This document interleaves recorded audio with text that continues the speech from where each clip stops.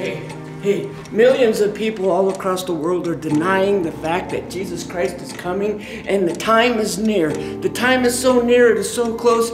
He says, Here I stand knocking at the door. And if anyone opens that door, I will come in and I'll come into you and live with you and be a part of your life. Jesus Christ is presenting a choice right now to every human being on earth, including yourself. Do you want Him or do you want the world? For the love of the world is what makes us enemies of God.